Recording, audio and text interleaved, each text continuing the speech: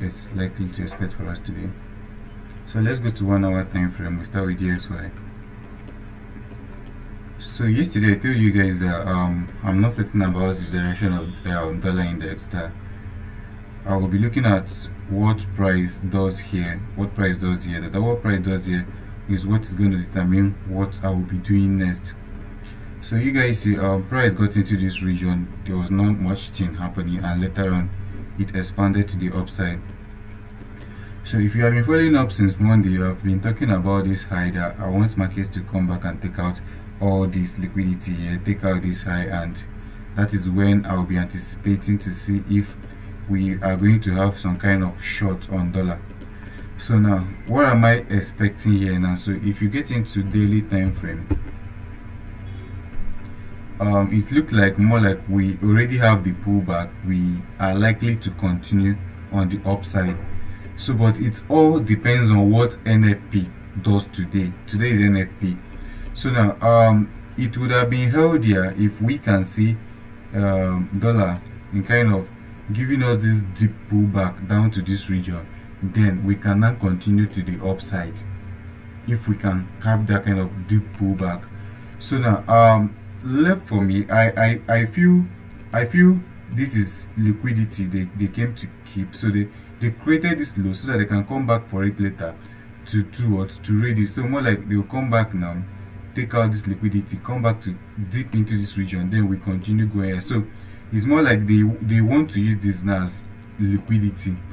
So now this is basically uh um what i'm looking out for in dollar. Then um aside that looking at the market fundamentally if what we will be looking at to see in NFP today. So um, if you look at this, you see um, the RCMI uh, manufacturing PMI came out negative. Um, what do you have again? We have um, the job job opening. Okay, um, a lot of people retained their job. That was good, and we had about we were expecting um they were expecting it to drop to 11.9 million people. That's expecting about um, 20 20 million people to drop their job but unfortunately we had more people coming into the job sector so which was a very good news for them. Then uh, looking at uh, on wednesday um, if you look at now um, the us now previous month they created 479k jobs and they were looking at um, in kind of the job creation should drop to. Um, they were looking to create at least 382,000 jobs. Uh, that is this um, previous month. They were looking to create 382,000 jobs. But unfortunately, you can see they created 247k job. So that was not good enough. Then um, looking at the ICMI PMI, the size PMI now, they were expecting it now to go higher at least a little bit by 0.2%, which was to 58.5. See, they were not even able to meet up with their previous month's target. That was still bad for them then uh, looking at uh, uh, what is it called?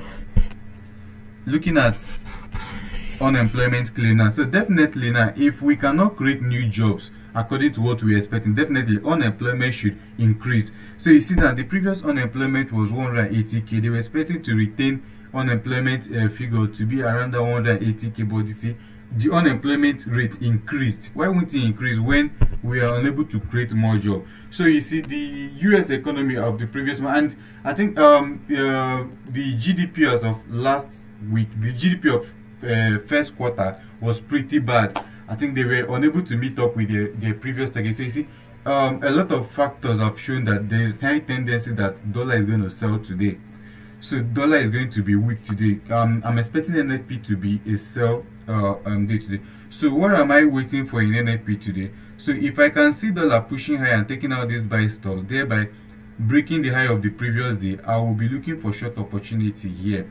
So i'm not doing anything on this london section. I'm more of waiting to see what happens above this high. So if i get a good short opportunity above this high i'm willing to take that and i'm willing to hold all down to see if we can come back to this region so now uh, where other place can i look for target profit so let's go to four hours. So now if you come if you come to um, four hours you see we have um we have this uh, level here. So i can also um, look at this level as target profit. So what am i looking out for now? So what i'm looking out for you see we have some kind of pullback. I want market to take out this liquidity then give me some such kind of pattern like this then we target here so this is basically what i'm looking out for dollar today. So i'm bearish on nfp today. So if i get a bearish setup i'll be very glad and that is what my uh, watch out will be out for. So now let's look at um, let's look at euro usd and gbp usd so here on euro usd I posted earlier on the telegram group that all I'm looking out for now is long position. Yeah. So now if you see on euro usd now I'm looking out for long position does not mean that you should go in without some um, confirmations and jump into a long we have liquidities resting here all below here. We, these are liquidities. So now I would want to see if market even if we are not going to take out this low here at 1.04700 I want this one this particular liquidity here to be taken out for me to start anticipating for long. So uh, if, if, you look very close you see the market is just consolidating. We're on a consolidation phase. So it's more like we come to the downside we push to the upside we come to the upside we push to the downside. This is more like what we have been doing. But um for me to have a, a, a high probability setup i would like to see if market can go below this liquidity. At least around 1.04800 could be a good level to start looking for long entry. So this is basically what i'm looking at for an euro usd today. So um let's look at the gbp usd so yeah here on gbp usd gbp usd is already on a region where i want gbp usd to push up from. So anything around this level here taking out previous this low, all this level here i'll be looking for long position on gbp usd so uh, i'm basically looking to see if uh, gpsc can read the previous day's low. So that's to say if gpsc takes out this low during um, uh, what is it called? During new york section that is um, um, during nfp time if we can see a rate below this low and i get a good uh, buy um, setup any any of our buy pattern let's say we get something of this nature i can be looking for long opportunity. So this is basically what i'm looking for out for gbp and um, euro usd okay so let's look at um, yesterday on gbp usd let's look at yesterday on gbp usd i forgot earlier we did not talk about that on um, euro usd so now yesterday on um, gbp usd i told you guys that um, this region is a very very good region for um, long opportunity. I made mention of this region as good region for long opportunity and i highlighted 1.25 200 as where you can go long from. I highlighted 1.25 200 as where you can go long from. And you see market came exactly at 1.25 200 and rejected from there. So now if you would have gotten your entry from there you would have made at least let's check. Would have made at least 57 pips before this market reversed. So why did this market reverse? We had a major news yesterday on gbp which pushed the market lower. So as you can see um, the official bank, that is the Bank of England, they hiked their rate from 0.75 by 25 BP, that is taking it to 1, uh, 1.0 interest rate. So, um, whenever um, uh, uh, banks hike rate aggressively, definitely it's going to have an effect in the economy because the economy has to move a, a, a backward to gain strength to be able to uphold that. So it's it's more like it came like a shock to people. I don't know if you understand. It came like a shock to people. So now, um, I was looking to short GU because I knew this was going to happen. So now I have this um, liquidity here, which I already seen that market has taken out. Let me take this to five minutes. So market has taken out this liquidity. I had my breakout structure here. So now I was fearful about this other liquidity here, but I was more like, okay, um, this is a good um, zone that market has bounced off from. Do you understand? So I took it that is a good zone that market has bounced off from then I had my breakup structure here. So I had my entry, my first entry here, then I had my other entry at, I had my first entry at one, had my first entry at uh, 1.25680, 1.25680, and have my other entry at 1.25600. Had my other entry at 1.25600. So you see, this is the both entry here. So um I, I knew definitely there's going to be a kind of a push up to pick me up but um little do i know that um, they will definitely want to come and rate this um equal highs here. So now you see um this this was my prediction. So i was anticipating the market to fall to at least rate this uh, particular previous day's low which my target was um to take out this previous low which was about 120 pips. So you see um it was unfortunate. Market just pushed higher and take out those um, liquidity cleared my stop loss exactly my stop loss here this was where my stop loss was. You see market just came from my stop loss and went to your, my direction. So um what are we looking out for today? What are we looking out for today? So now just like i told you guys on that level there this is where we will be looking for long opportunity today. So i'm going to be long on gbp usd pertaining to the pattern i see. Okay as you can see market has already taken out the previous day's low already. So now if i see a good pattern for a buy opportunity during um, new york session i'll be taking that. So anticipating that nfp is what? Weak. That is to say that if nfp is weak i expect a weaker dollar whereby our, foreign currency gu eu gains strength. So this is basically what i'm looking at for today. So now let's look at um, um this thing.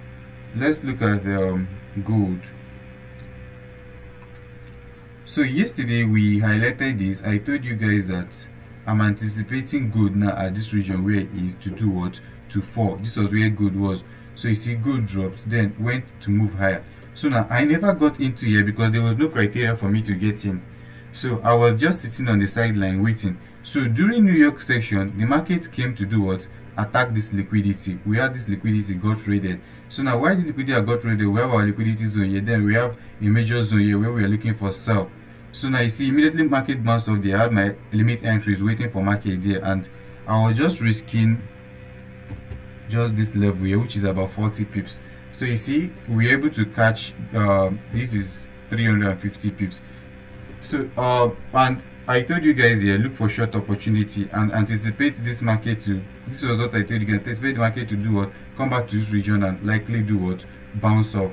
So that just the way we are looking out for uh, uh, uh, what is it called? Weaker dollar today. So if we have a weaker dollar today then that is to say that uh, what we are looking out for good is likely going to do what happen. There's going to be a what? A stronger good so but before that let's look at daily time frame to see the kind of pattern we have. So now if you come to daily time frame now if you come to daily time frame now you would agree with me that we have this region here where price have bounced off from. We have this region here where price has bounced off from. And we have um we have we are we are in an oversold region. We call it oversold region we have all this liquidity price are taking that we have all these levels here that price needs to come back to to fill so um, I'm, I'm, I'm still looking at a scenario whereby we can have a possible push to the upside today, which I'm not certain about it, depending on what, uh, what is it called, depending on what NFP looks like. That is what is going to tell me what to do, if I'm going to get into this long or not. But with the kind of reaction we are seeing here on this today's candle, it's telling us something that we might likely have a bullish day today. So we don't know for sure, but um, we'll be looking at um, the possible thing that happened in NFP today. So that is basically what I have for you guys this morning. If you have question, you can kindly unmute yourself and ask. Okay, now analyze BTC was. Okay.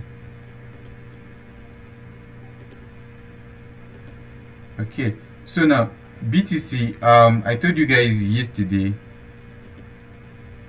I told you guys yesterday that it looks like we have done what? We have broken structure to this level here.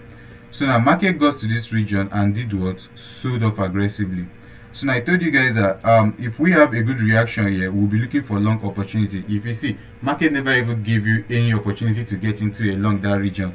Market just drop aggressively if you have been following up with morning shower since monday i've always highlighted this region that if price can come into this region i'll be looking for long opportunity and i'm still doing that.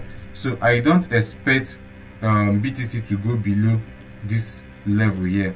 I'm not expecting btc to go below this level.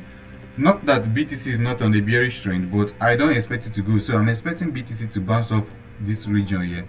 So now why am i expecting btc to bounce off there uh, because uh, i know definitely it's going to bounce off here so now here on this region here now I'm monitoring BTC very very close. That was I told I also posted. I said I'm only looking for long opportunity here now on BTC. So now I'm looking at kind of possible pattern the market will create. So if I get a pattern here for long, I'm going to be buying. And if I get a long pattern here, this is where I'm targeting. I'm looking at I'm looking at uh, this region here. So I'm more like okay if i can have something of this nature here i'll be targeting i want all this liquidity to be taken out i want price to come back to at least 41k so this is basically what i'm looking out for um, btc so i want price to come back and attack this kind of um, uh, bearish trend line market has created now because more like okay everybody um will anticipate this now. So when it gets here now there's going to be a lot of people who will be willing to sell btc at this level. So um, what we now see in that kind of scenario is market gets here try to do some kind of pullback. Market gets here try to do some kind of pullback then we attack them aggressively. So this is basically what i will be looking at for btc so um you know btc can consolidate for some days before a move so let's see if it's going to if nfp is going to make it move today or this is likely what we'll be looking at for next week so depending. So there's it here i don't know does anyone have any question?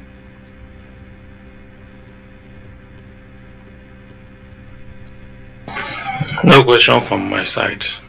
Okay.